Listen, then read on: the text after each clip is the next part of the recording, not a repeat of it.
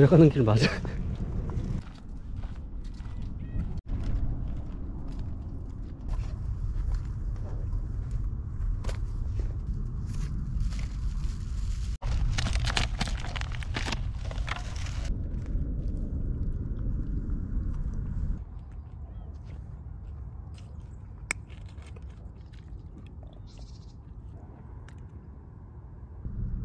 잘할줄 모르네. 농사를 잘할줄 모르네.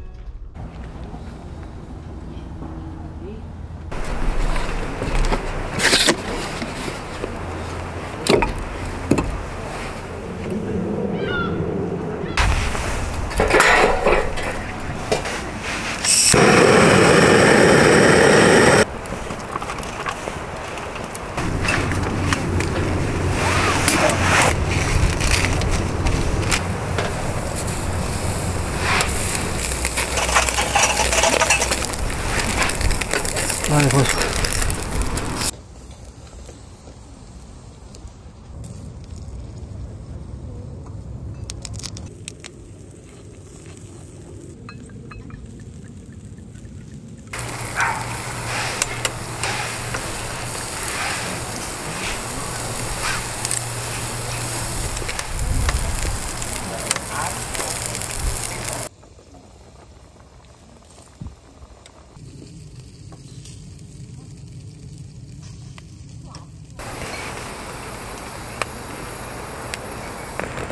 예쁘다. 진짜 예뻐.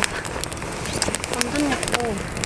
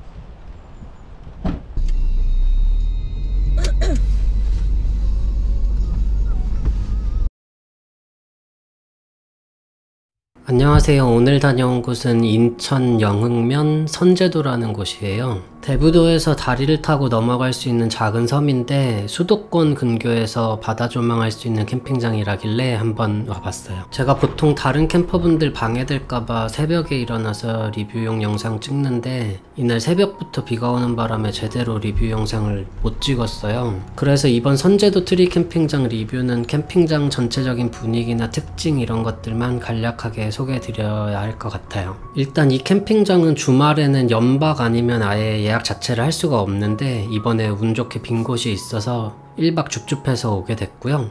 이곳은 A, B, C존으로 구성되어 있어요. A존은 캠핑장 관리동부터 입구 쪽까지 숲을 보면서 일렬로 쭉 이어져 있고요.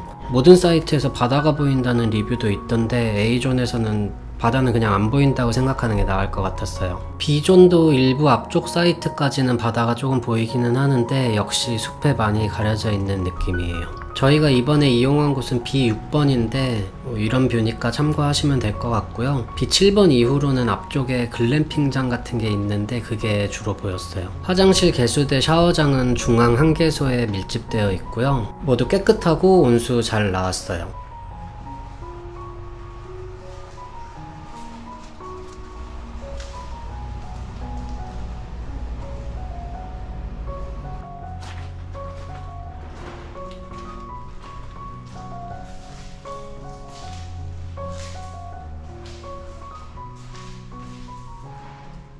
저도 오기 전에 다른 분들 포스팅이나 유튜브 몇 개 보고 왔는데 뷰가 엄청 좋다는 자리들도 막상 와보니까 이게 바다는 거의 잘 안 보이더라고요. 트리 캠핑장이라는 이름에 맞게 바다보다는 오히려 숲속 캠핑장에 온 느낌이었어요. 아 그리고 여기 비행기가 엄청 많이 다니더라고요. 낮에도 밤에도 잘 때 영흥대교 넘어가는 차 소리도 상당히 많이 들리니까 참고하셔야 될 것 같고요. 그래도 이 캠핑장 장점은 수도권에서 가까운 곳에서 바다 느낌 내볼 수 있다 는 점이랑 매너 타임인 것 같아요. 예약 단계에서부터 자리 합석도 안 된다는 공지도 있고 이용하시는 분들도 정말 조용하게 이용하시더라고요.